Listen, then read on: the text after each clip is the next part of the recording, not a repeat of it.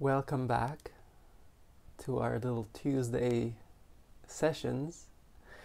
Uh, since since last time there was a, a, request for compassion meditation, I thought, well, might as well continue today and follow the sequence of the Brahma Viharas. And so uh, the next one in line would be joy. And uh, if if you don't mind, maybe I thought I would suggest uh, we try a little bit of joy tonight. mm, too bad.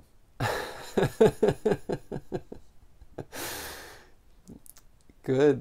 We will see. Uh, we'll see how it goes for everybody. I, I'm sure it's not your first dip, anyways. So. And uh, as usual, uh, we'll begin with simply closing our eyes and taking a comfortable position. And just let it all go.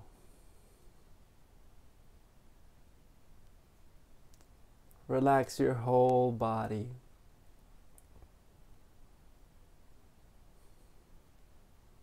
And smile.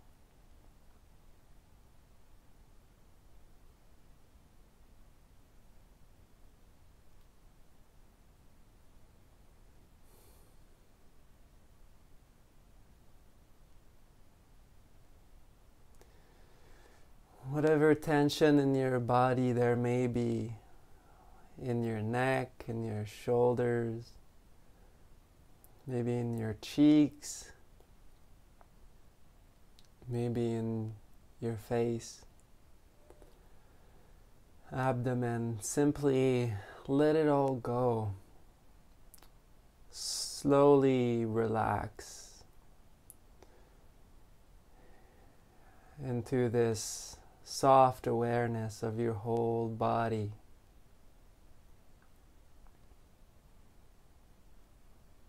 Naturally.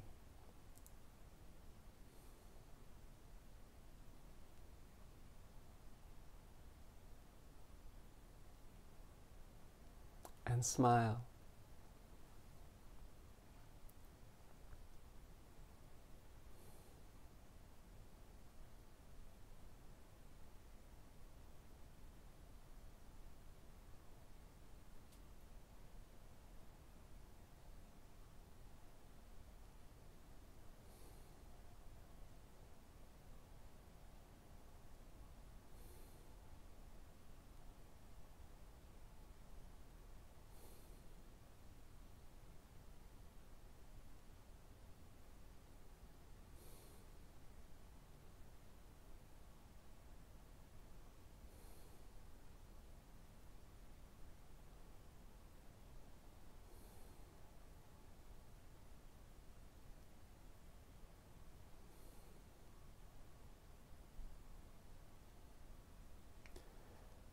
Notice the stiffness in your body.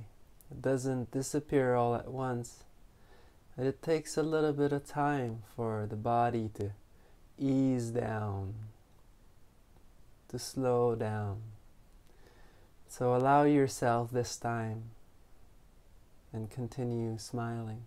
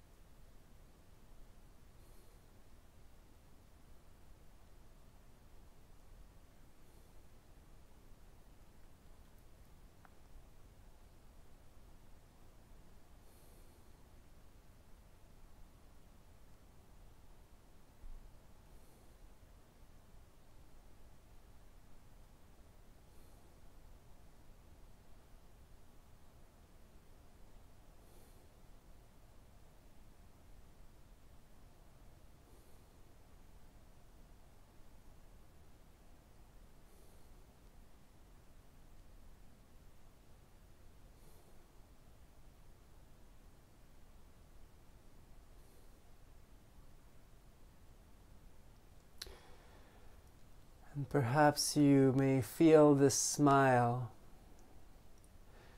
on your lips, but you might feel that it's not simply on your lips. It actually runs through your whole body.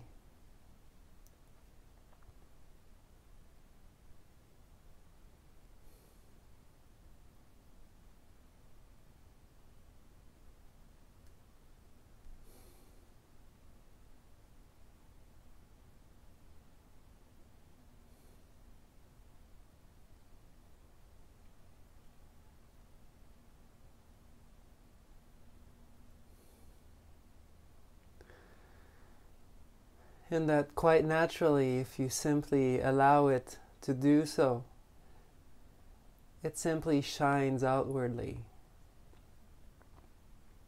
in all directions.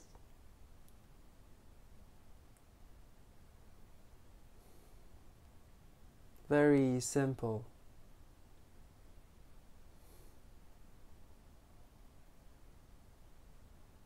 Fully open.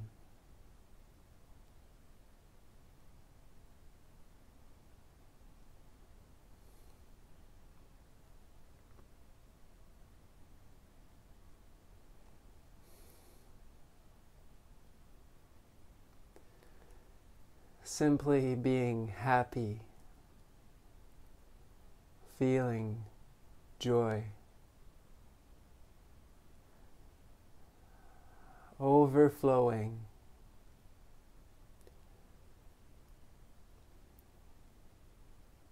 And suffusing the entire world.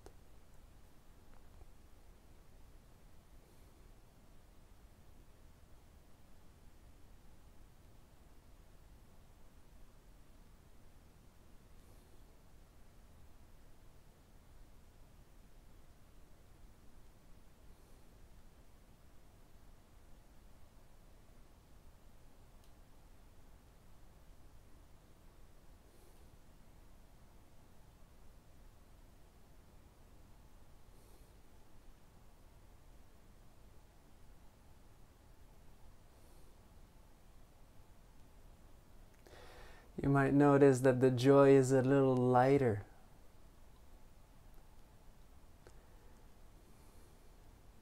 Not as dense as the love and the compassion. It is very simple.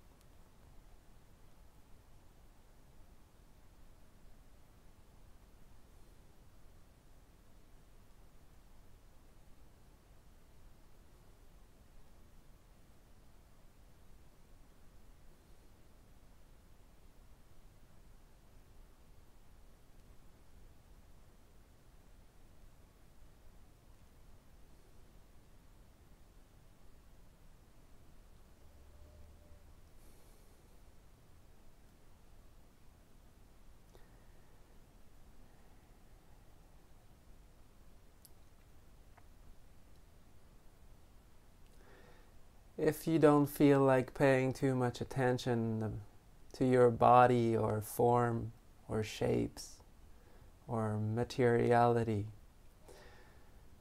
And for you, this feeling is more a feeling of joy that is expansive, but mentally. Simply allow it to.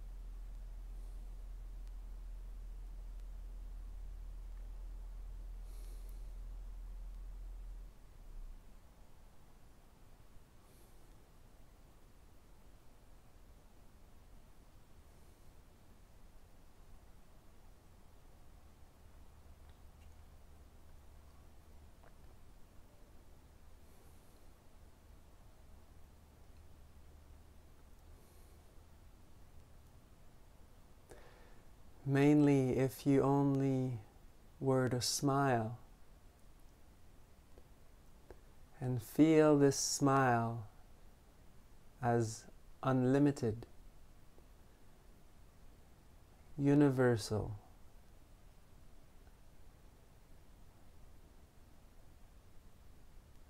All around. You would be practicing mudita.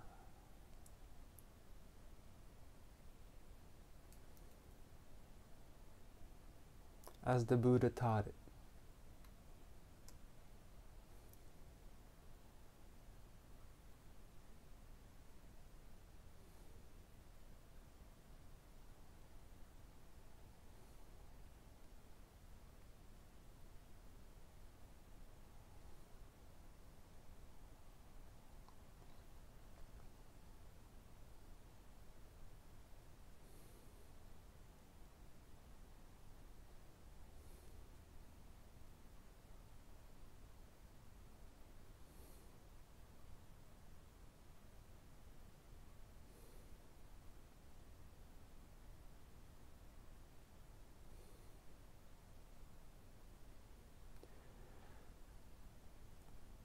Quite literally, this is simply being happy.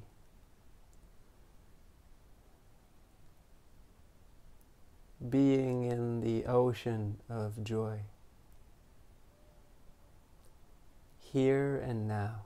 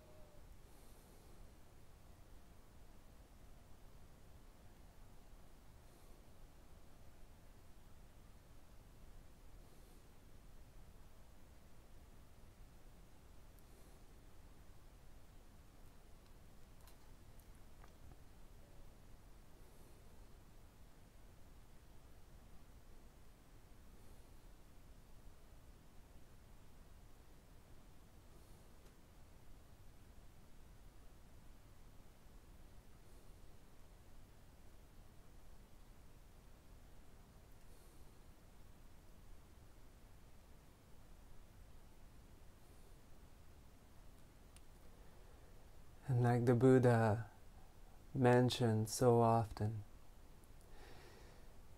to practice these qualities rooted in viveka, letting go, detaching anything that would stick to the mind, rooted upon viraga calming down.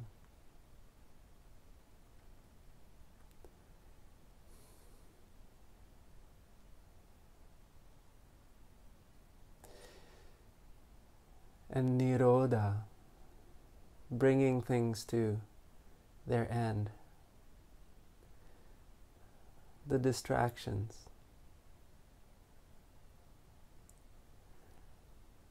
And in this way, the feeling of joy or sympathetic joy is cleansed, it becomes pure. But it also goes in the right direction. It calms down. It becomes more subtle. More sustained as we calm down, as we let go, as we bring the distractions, the mental movements to an end.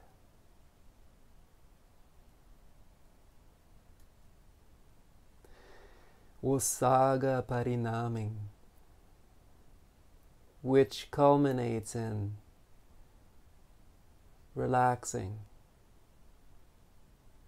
release.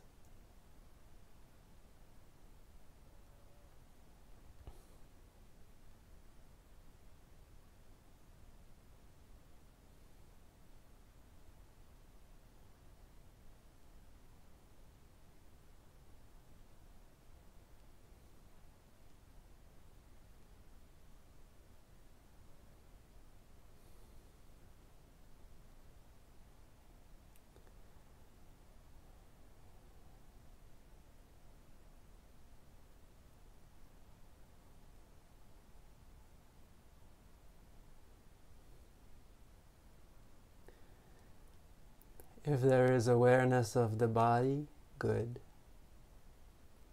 If the awareness of the body slowly becomes fainter and fainter,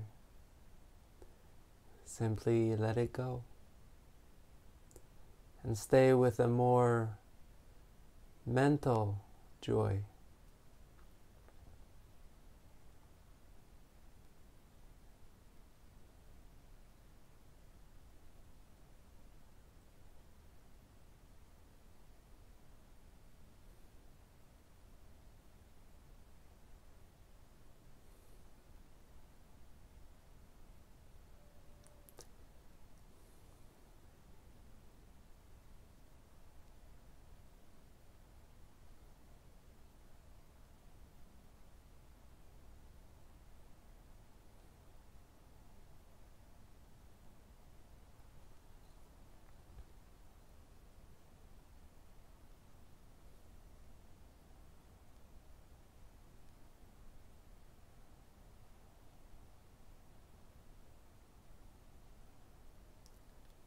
Allowing this measureless joy to carry our awareness forward,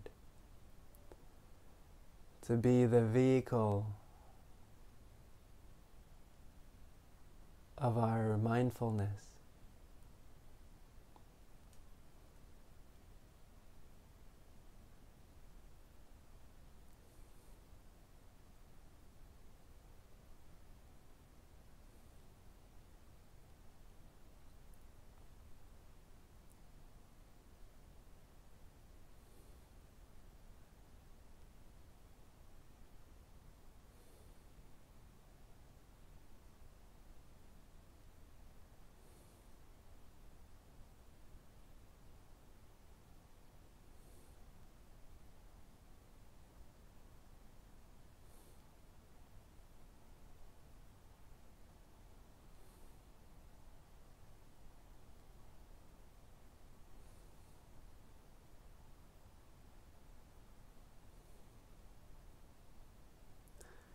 If you have a very big smile on your face,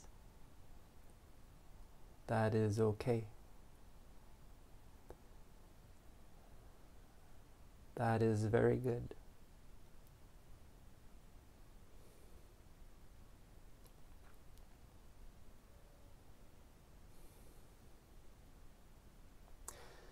The mind fills up on the joy and becomes collected this is how it stops flowing outwards to all these distractions. When it gets its fill, it will naturally calm down.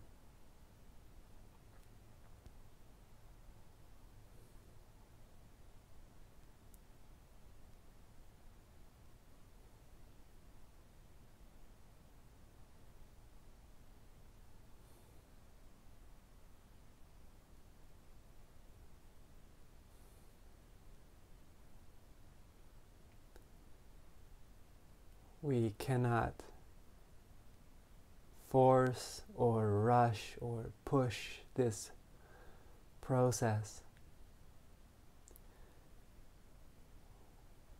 We can only sit here and and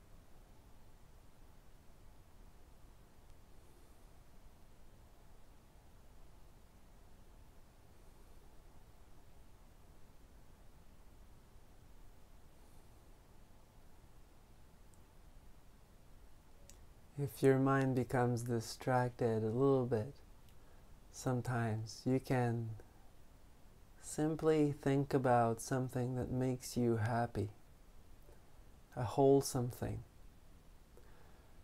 Perhaps it's a good action you've done in the past. Perhaps it was giving something to someone, helping someone going through tough times.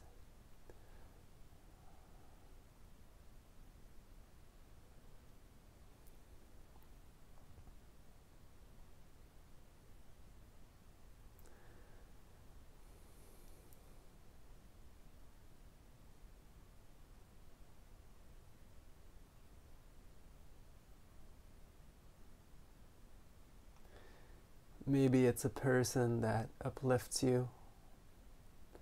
Maybe it's a place in nature that makes you smile. Or a memory.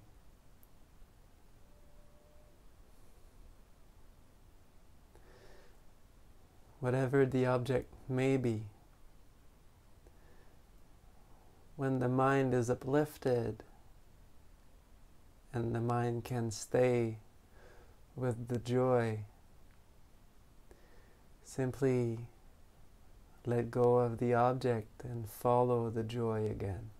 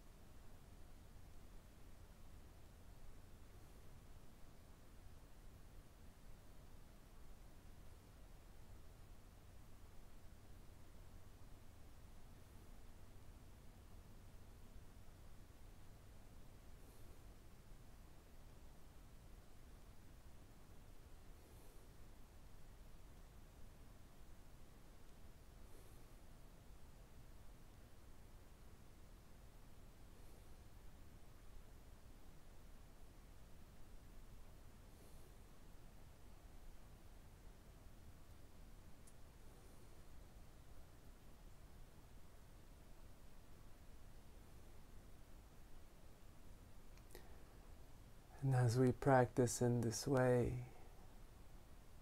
using all seven supports of awakening,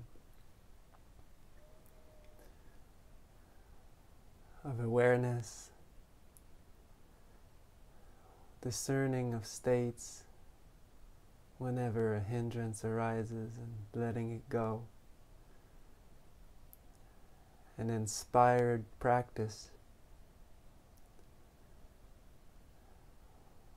which results into joy, spiritual joy, mental joy. That naturally arise from release.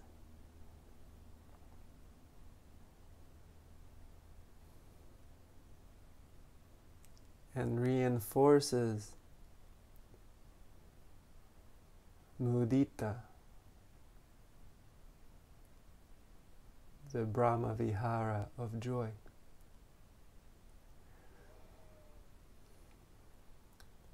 Which results in tranquility, collectedness, and steady awareness. And slowly we notice the five faculties, the panchendriyas, becoming clearer and sharper.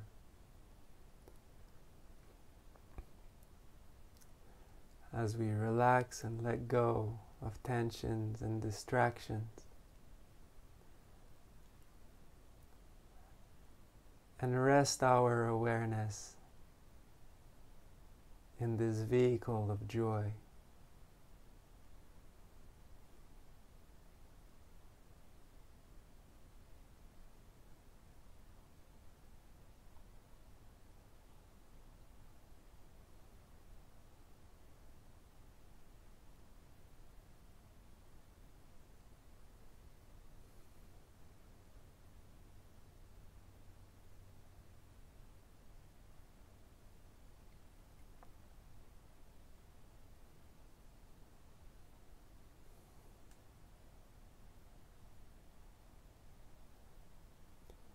Bhavatu sabba mangalang rakkantu sabba devata. Sabba buddhanubhavena sada sati bhavantu te. Bhavatu sabba mangalang rakkantu sabba devata. Sabba dhammanubhavena sada sati bhavantu te Bhavatu sabba mangalang rakkantu sabba devata Sabba sanghanubhavena sada sati bhavantu te May all blessings be with you and may all the devas protect you by the powers of all the Buddhas, the Dhamma and the Sangha. May you be well and happy.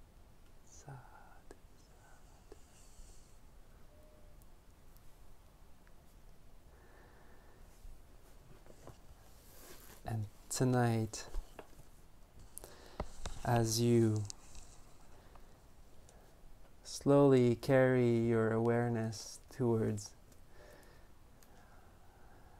the ear door and incline your mind to this uh, Dhamma Desana, this discourse on the Dhamma. And tonight I will be reading the Chula Hatthipadopama, the shorter simile on uh, the elephant's footprint, for lack of a shorter name. And this little story here is about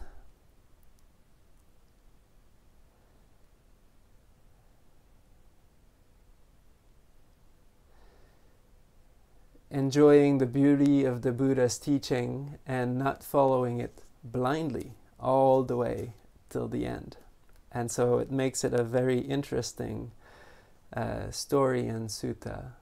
And um, where the Buddha himself uh, explains how to properly follow his uh, teaching and practice his teaching without falling into uh, blind belief. and so, and in many ways, this is a wonderful uh, discourse, uh, as you will see. But this is what it is uh, based upon, mainly. And this is at Savatthi at Njeta's Grove, Anathapindika's park. And on that occasion, the Brahmin Janusoni was driving out of Savatthi in the middle of the day in an all white chariot drawn by white mares. He, the Brahmin Janusoni was quite famous for his white chariot. He was, there's a few suttas on it. He saw the wanderer Pilotika coming in the distance and asked him, Now where is the master Vacchayana coming from in the middle of the day?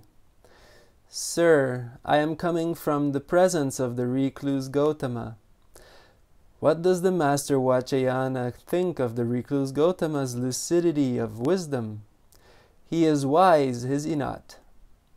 Sir, who am I to not to know the recluse's Gotama's lucidity and wisdom. One, one would surely have to be his equal to know the recluse Gotama's lucidity of wisdom. Master Vacchayana praises the recluse Gotama with very high praise indeed. Sir, who am I to praise the recluse Gotama? The recluse Gotama is praised by the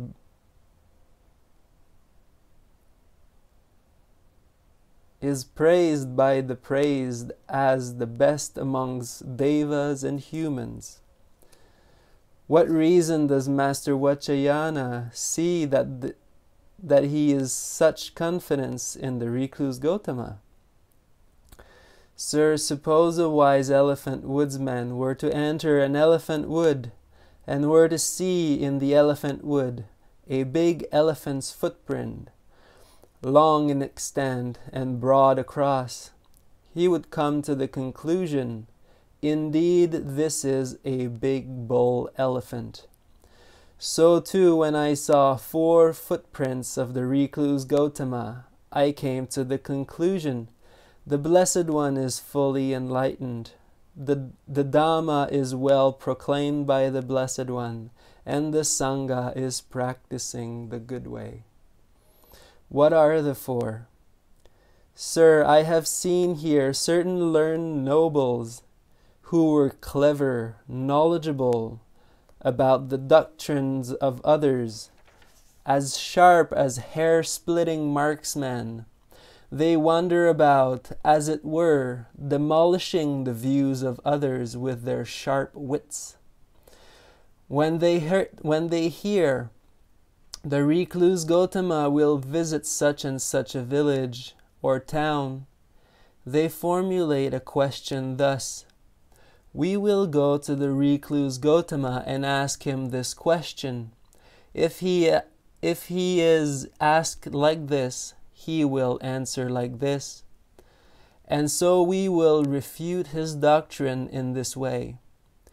And if he is asked like that, he will answer like that and so we will refute his doctrine in that other way. They hear the recluse Gotama has come to visit such and such a town or a village. They go to the recluse Gotama, and the recluse Gotama instructs, urges, rouses, and gladdens them with a talk on the Dhamma.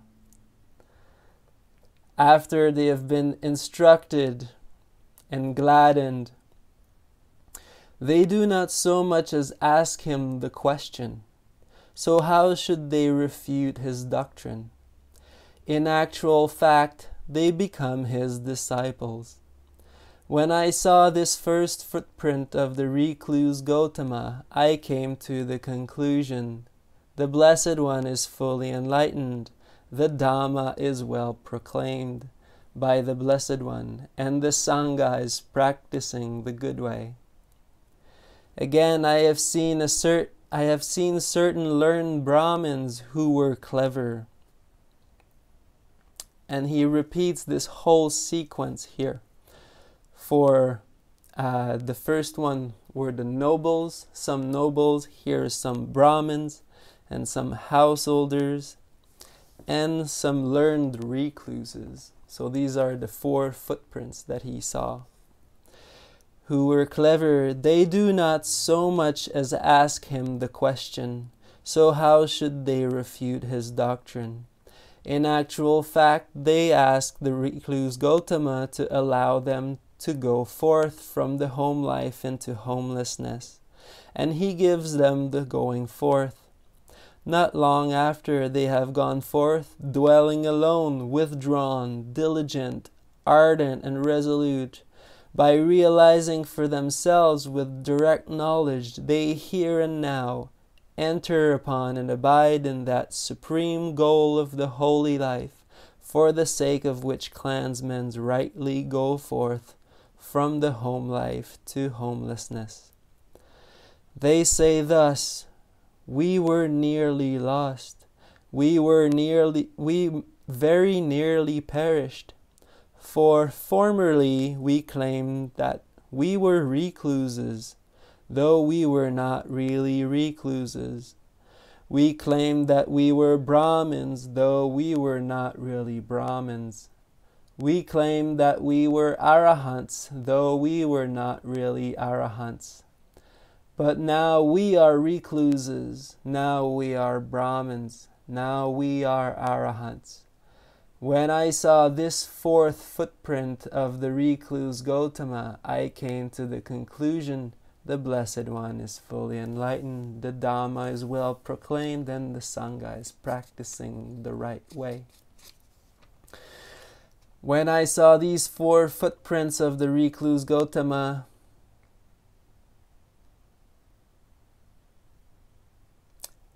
oh, repeating itself here. When this was said, the Brahmin Janusoni got down from his all white chariot drawn by white mares, and arranging his upper robe on one shoulder, he extended his hands in reverential salutations towards the Blessed One and uttered this exclamation three times Honored to the Blessed One, accomplished and fully enlightened. Honor to the Blessed One, accomplished and fully enlightened. Honor to the Blessed One, accomplished and fully enlightened. Perhaps sometime or other we might meet Master Gotama and have some conversation with him. Then the Brahmin Janusoni went to the Blessed One and uh, exchanged greetings with him. When this courteous and amiable talk was finished, he sat down on one side and related the blessed one to the blessed one his entire conversation with the wanderer Pilotika. Thereupon the blessed one told him, At this point, Brahmin, the simile of the elephant's footprint has not yet been completed in detail. As to how it is completed in detail, listen and attend closely to what I shall say. Yes, sir, the Brahmin Janusoni replied. The Blessed One said this. Brahmin, suppose an elephant woodsman were to enter an elephant wood and were to see in the elephant wood a big elephant's footprint, long in extent and broad across. A wise elephant woodsman would not yet come to the conclusion indeed, this is a big bull elephant. Why is that? In an elephant wood, there are small she elephants that leave a big footprint, and this might be one of their footprints. He follows it and sees in the elephant wood a big elephant footprint long in extent and broad across, and some scrapings high up. A wise elephant woodsman would not yet come to the conclusion, indeed, this is a big bull elephant. Why is that? In an elephant wood there are tall she elephants that have prominent prominent teeth and leave big footprints, and this might be one of their footprints. He follows it further and sees in the elephant wood a big elephant footprint, long in extent and broad across, and some scrapings high up, and marks made by tusks. A wise elephant woodsman would not yet come to the conclusion, indeed, this is a big bull elephant. Why is that? In an elephant wood, there are tall she elephants that have tusks and leave a big footprint, and this might be one of them, one of their footprints. He follows it further and sees in the elephant wood a big elephant footprint long in extent and broad across, and some scrapings high up, marks made, made by tusks, and a, bro- a broken off branch. And he sees that bull elephant at the root of a tree or in the open, walking about, sitting or lying down. He comes to the conclusion this is that big bull elephant up until he in fact sees it. So too, Brahmin, here a Tathagata appears in the world, accomplished and fully enlightened, perfect in true knowledge and conduct, sublime knower of the worlds, incomparable leader of persons to be trained, teacher of devas and humans, awakened and blessed. And this is the beginning of the talk on his whole path, which is core to his teaching, which is um, a sequence that he used in many suttas to answer people's question, but he would always change it to the person's question. He would adapt it, and now it's about this elephant footprint. He declares this world with, with its devas and maras and brahmas, this generation with its recluses and brahmins, its princes and people, which he has himself realized with direct knowledge. He teaches the Dhamma, which is good in the beginning, good in the middle, and good in the end, with the right meaning and phrasing and he reveals a holy life that is utterly perfect and pure. A householder or householder's son, or one born in some clan or another, hears that Dhamma. On hearing the Dhamma, one acquires faith in the truth finder. Possessing that faith, he considers thus household life his is crowded and dusty, life gone forth is wide open. It is not easy while living at home to lead the holy life utterly perfect and pure as a polished shell. Suppose I shave off my hair and beard, put on the yellow robes, and go forth from the home life to homelessness. Usually I would skip this little sequence here.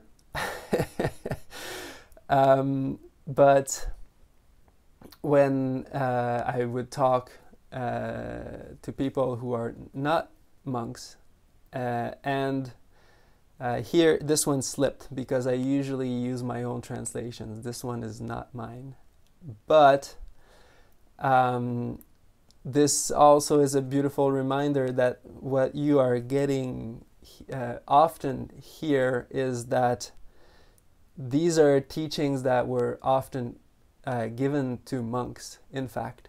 So this is why the context here. And the Majjhima Nikaya, the, the middle length sayings, um, was known to be uh, the collection that the Buddha, uh, of the Buddha's discourses delivered to monks. And so, uh, but I would like to say that this is not at all uh, confined to monastic life at all. In fact, This can be interpreted simply as the meditation practice or simply anybody practicing this path. And however much we align with it is however much freedom we will taste. And so that is up to each and every one of us. And it doesn't require going forth absolutely. So, this point being clarified. On a later occasion, abandoning a small or large fortune, abandoning a small or large circle of relatives, he shaves off his hair and beard, puts on the yellow robe, and goes forth from the home life into homelessness. Or just goes to some meditation retreat for 10 days. Having thus gone forth and possessing the bhikkhu's training and the way of life, abandoning the killing of living beings, one abstains from killing living beings. With rod and weapon laid aside, conscientious, merciful, he abides compassionate to all living beings. Abandoning the taking of what is not given, one abstains from taking what is not given, taking only what is given, accepting only what is given. By not stealing, one abides in purity. Abandoning in celibacy, he one observes celibacy, living apart, abstaining from the vulgar practice of sexual intercourse. Usually, also, I would simply mention here uh, that it's simply um, to abstain from any kind of sexual misconduct, which is the third virtue for uh, lay people. Abandoning false speech, one abstains from false speech, one speaks the truth, adheres to the truth, is trustworthy and reliable, one who is no deceiver of the world. Abandoning malicious speech, one abstains from malicious speech, one does not repeat elsewhere what one has heard. Here in order to divide those people from these nor does one repeat to these people what he has heard elsewhere in order to divide those people from those. Thus, one is a one who reunites those who are divided, a promoter of friendships, who enjoys concord, rejoices in concord, delights in concord a speaker of words that are that promote concord, abandoning harsh speech. One abstains from harsh speech, one speaks such words that are gentle, pleasing to ear, and lovable, as go to the heart, are courteous, desired by many, and agreeable by many. Abandoning gossip, one abandons one abstains from gossip. One speaks at the right time, speaks what is fact, speaks on what is good, speaks on the Dhamma and the discipline. At the right time, one speaks such words that are worth recording, reasonable, moderate, and beneficial.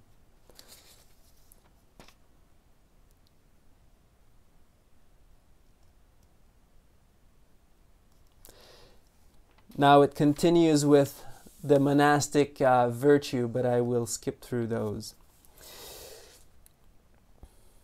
One becomes content with robes to protect one's body and with alms food to maintain one's stomach, and wherever one goes, one sets out taking only these things with one.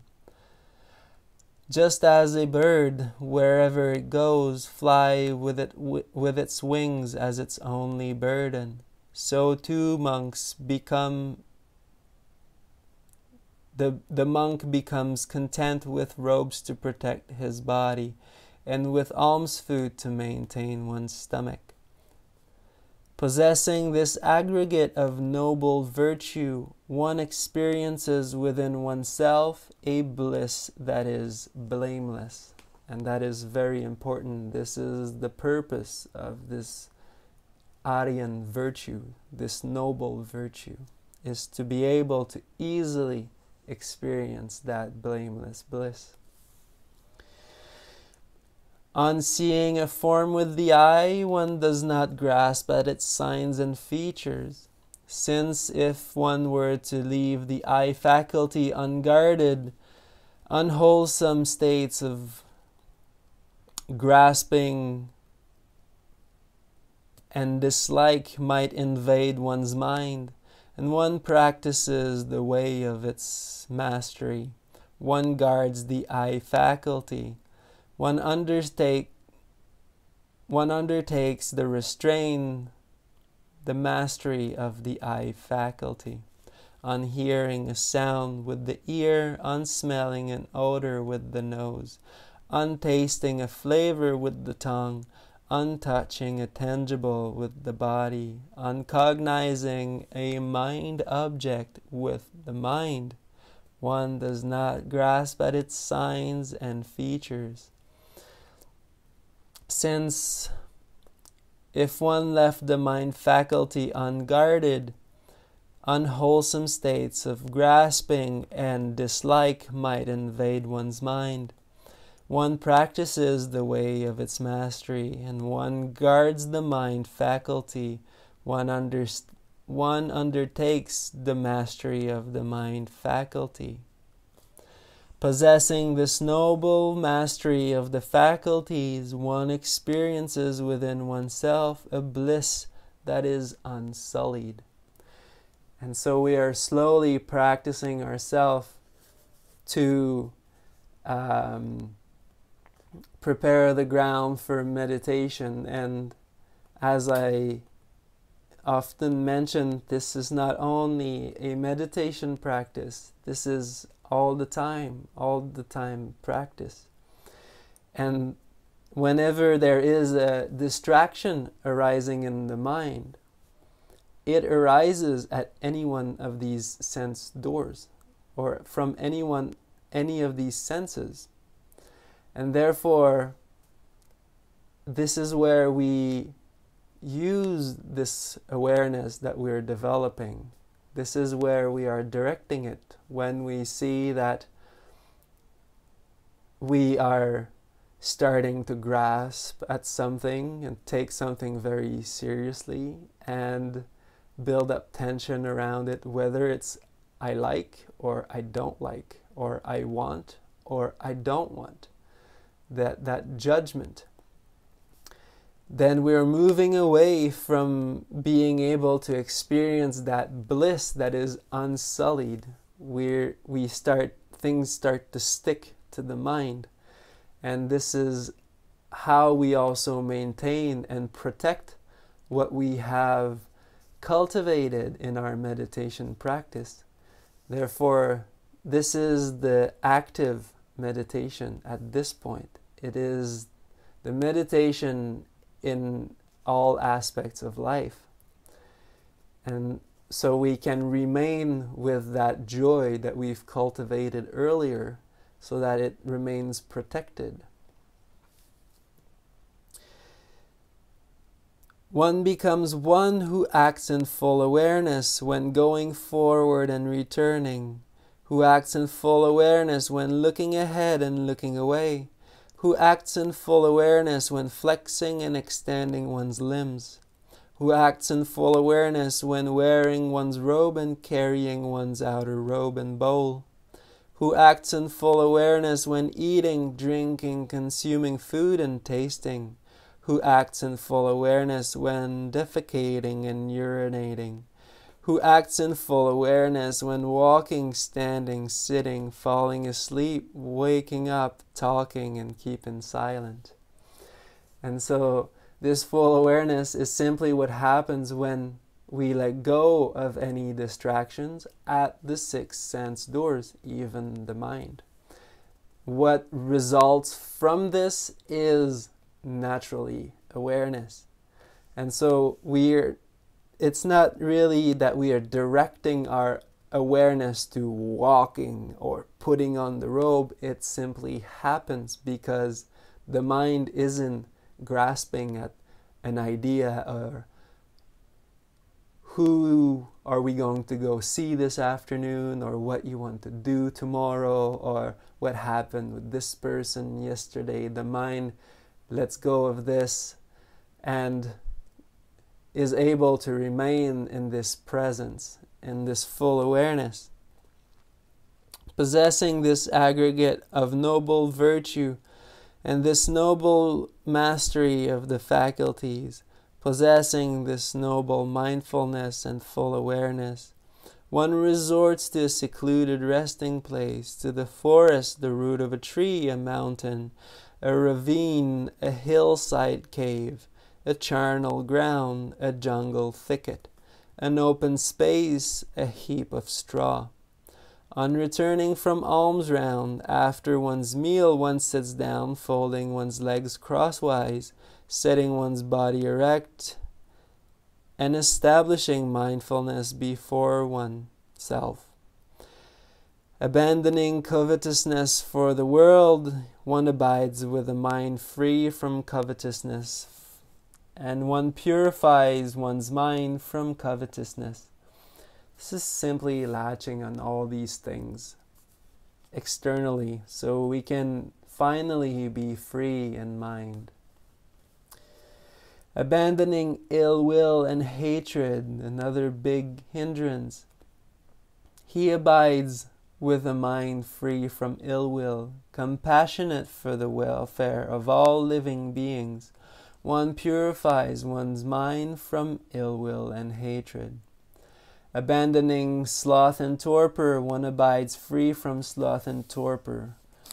Seeing clearly, mindful and fully aware, one purifies one's mind of sloth and torpor. Abandoning restlessness and remorse, one abides unagitated.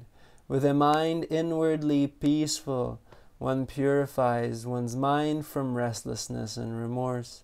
Abandoning doubt, one, aban- one abides having gone beyond doubt, unperplexed about wholesome states one purifies one's mind from doubt and see how interesting it is here.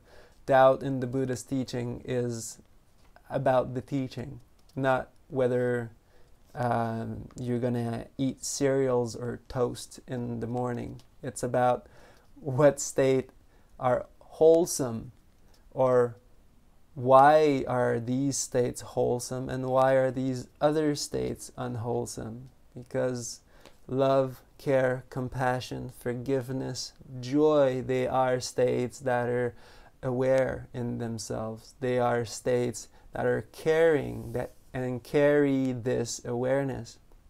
Whereas wanting all kinds of things outside, um, dislike, uh, resentment, and uh, jealousy, for example, are states that are reactive. They are these emotional upsets that happen when mindfulness slips. These states arise, and we um, we lose mindfulness. And having doubt or doubt as a hindrance is not knowing these things which is closely related to discernment.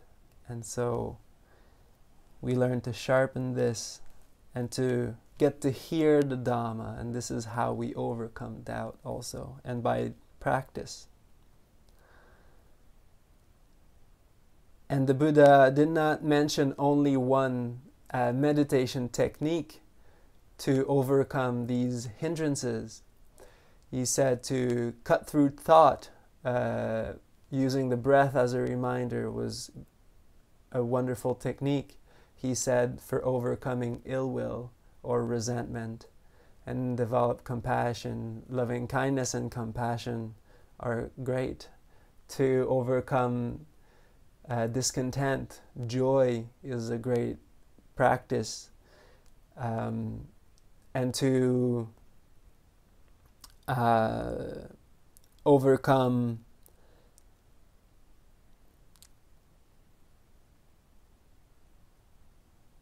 grasping or attachment to certain things, we can contemplate what is unattractive within them. Therefore, we completely break any kind of um, mental limitations that we could have for our meditation practice and happiness in our lives.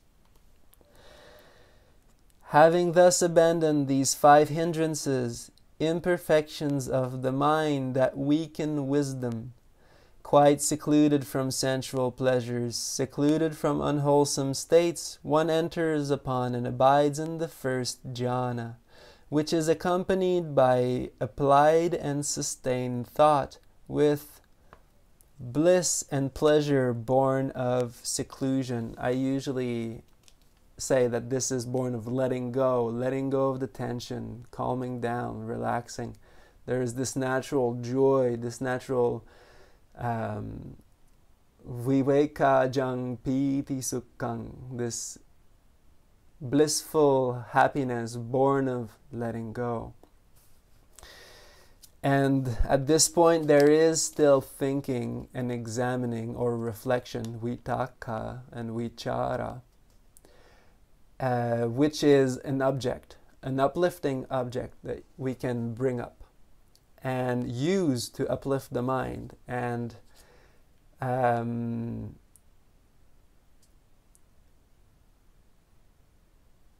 develop the faculties that we need for beginning this meditation. And so, abandoning the hindrances in the first jhana, there's not a clear break in between them. It is all part of the same process, but it gradually moves into the first level of meditation as these qualities get stronger, more defined, and um, more established. This Brahmin is called a footprint of the truth finder, something scraped by the Tathagata, something marked by the Tathagata. The Tathagata is the truth finder, the Buddha. He often talked about himself in the third person. So, using that epithet. But a noble disciple does not yet come to the conclusion the Blessed One is fully awakened, the Dhamma is well proclaimed by the Blessed One, and the Sangha is practicing the good way. Again, with the stilling of applied and sustained thought, thinking, and reflection, a monk or a person enters upon and abides in the second jhana, which has inner tranquility and singleness of mind without applied and without thinking nor reflection with the joy and happiness born of collectedness and see as we practice in the proper way, using right effort, letting go of tension and unwholesome states, and bringing up states that are wholesome, whether it's the loving kindness, the compassion, the joy. The mind will, it slowly detaches and it fills up on that joy and it does not flow outside anymore. Therefore, it starts to pool. The water of awareness stops flowing outwardly and it starts to pool in the mind. And this is called samadhi, collectedness. And at this point, in the second level of meditation, this becomes much more prominent and this becomes more clear as we practice. And the joy that comes from this is uh, notable. This too, Brahmin, is called a footprint of the Tathagata, something scraped by the Tathagata, something marked by the Tathagata. But a noble disciple does not yet come to the conclusion. The Blessed One is fully awakened, the Dhamma is well proclaimed, the Sangha is practicing the good way. Again, with the fading away of excited joy, A person abides in equanimity and mindful and fully aware, still feeling pleasure with the body. One enters upon and abides in the third jhana, on account of which noble ones announce, He has a pleasant one has a pleasant abiding who has equanimity and is mindful. This too, Brahmin, is called a footprint of the Tathagata, but a, something scraped by the Tathagata, something marked by the Tathagata. But a noble disciple does not yet come to the conclusion the Blessed One is fully awakened, the Dhamma is well proclaimed, and the Sangha is practicing the good way. Again, with the, the abandoning of pleasure and pain, and with the previous disappearance of joy and grief, a person enters and abides in the fourth level of meditation, which has neither pain nor pleasure, and purity of mindfulness due to equanimity. This too, Brahmin, is called a footprint of the Tathagata, something marked by the Tathagata, something scraped by the Tathagata. But a noble disciple does not yet come to the conclusion the Blessed One is fully awakened, the Dhamma is well proclaimed, and the Sangha is practicing the good way. When one's mind is collected, is thus purified, bright, unblemished, rid of imperfection, malleable, wieldy, steady, and attained to imperturbability. One directs it to the knowledge of the recollection of past lives one recollects one's manifold past lives. That is, one birth, two births, three births, four births, five births, ten births, twenty births, thirty births, forty, fifty, a hundred births, a thousand births, a hundred thousand births, many eons of world contraction, many eons of world expansion, many eons of world contraction and expansion One recollects their past lives, thus with their aspects and particular particulars, one recollects one's manifold past lives. This too, Brahmin is called the footprint of the Tathagata. Something scraped, something marked by the Tathagata. But a noble disciple does not yet come to the conclusion the Blessed One is fully awakened. When one's mind is collected and thus purified, bright, unblemished, rid of imperfection, malleable, wieldy, steady, and attained to imperturbability, one directs it to the knowledge of passing away and reappearance of beings. With the divine eye, which is purified and surpasses the human, one sees beings passing away and reappearing, inferior and superior, fortunate and unfortunate. One understands how beings pass on according to their actions. Thus, with the divine eye, which is purified and surpasses the human, one sees beings passing away and reappearing, inferior and superior and passing according to their action. This too, Brahmin, is, a, is called a footprint of the Tathagata. But, no, but a noble disciple does not yet come to the conclusion the Blessed One is fully awakened, the Dhamma is well proclaimed, and the Sangha is practicing the good way. When one's collected mind is thus purified, bright, unblemished, rid of imperfection, malleable, wieldy, steady, and attained to imperturbability, one directs it to the knowledge of the stilling of the distractions. One understands as it actually is. This is tension. This is the origin of tension. This is the cessation of tension. This is the way leading to the cessation of tension. Constantly using this pattern to purify the mind to the deepest levels. These are the distractions. The, this is the origin of the distractions. This is the cessation of the distractions. This is the way leading to the cessation of the distractions. This too, Brahmin, is called the footprint of the Tathagata, something scraped by the Tathagata, something marked by the Tathagata. But a noble disciple still has not come to the conclusion the Blessed One is fully awakened, the Dhamma is well proclaimed, and the Sangha is practicing the good way. Rather, he is, or one is, in the process of coming to this conclusion. So, see, the, even the Buddha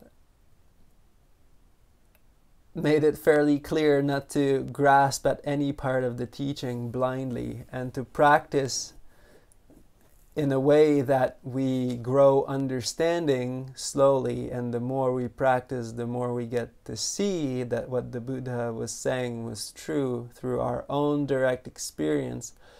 But all of this gets completely confirmed at the very end also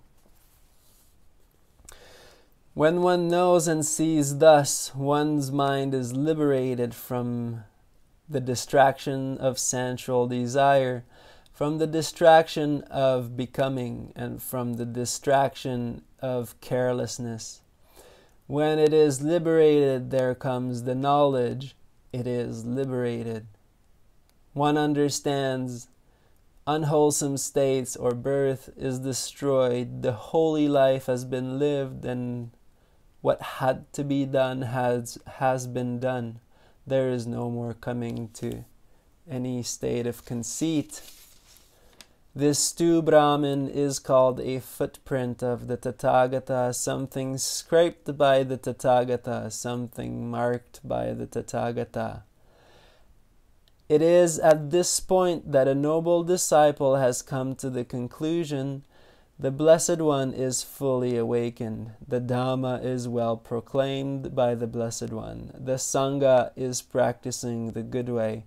And it is at this point, Brahmin, that the simile of the elephant's footprint has been completed in detail. When this was said, the Brahmin Janussoni said to the Blessed One, Magnificent Master Gotama, magnificent.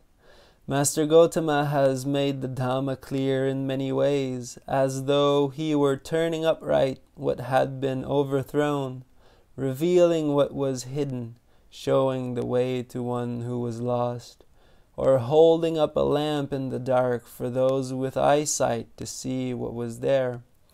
I go to Master Gotama for refuge and to the Dhamma and to the Bhikkhu Sangha. From today let Master Gotama, remember me as a lay follower who has gone for refuge to him for life. And this is how this wonderful little story here ends. And I thought I would uh, offer this as a um, as a beautiful exposition of his path through that little story of the footprint and the markings, and that uh, sometimes we might uh, be quick on uh, taking certain things for granted and um, maybe going fast in in the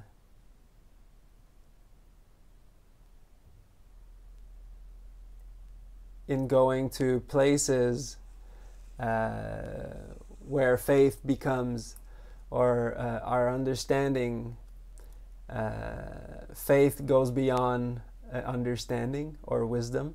And in the Buddha's teaching, these two always remain very uh, balanced. Wisdom, faith balanced by wisdom. And wisdom also is, though we must say that wisdom is driven forward by faith. Uh, so that is how this process happens. But um, and to always have in the back of our minds to always uh, remember to uh, to reflect back on our experience, on our direct experience, and to see and to reflect on what we've lived and how does it reflect to the teachings and the suttas and to read, to learn the suttas, to listen to the Dhamma, to uh, know and make sure we're uh, practicing the right way, and to keep us in truth. And this is always uh, there to help us, this uh, reflection. Uh, the Buddha said it's paccavekkhana this reflective view on our practice and how we see and understand the Dhamma. And so,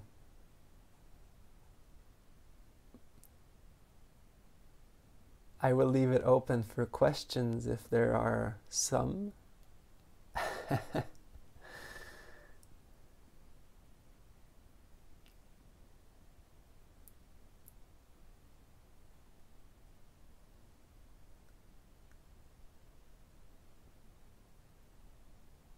Oh, yes. I, I would like to say thank you. Yes. Oh, good. My pleasure. Thanks for sharing. Sadhu, sadhu. Good. This is my first time I got to come to one of the. Oh, And, uh, Terry and Ben and especially Johnny to um, say thanks for making the connection. Really appreciate it. I, I've been a Goenkaji meditator for a number of years and some um, Christian transcendental before that. So I'm really grateful to get the smiling perspective. good. Good. Good. You have good friends. good. Well, welcome to this first time on here. So it's good good to meet you. good. My name's Annalisa. Um, I didn't catch that. to Amanda. Uh, my name is Annalisa. Nice to meet you. Annalisa, Amanda. okay, yes. Amanda. Anna, Annalisa, nice to meet you. Yes. Good. Wonderful. Okay.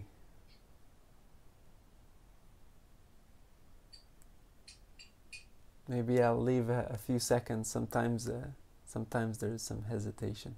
People takes a little bit of time. okay.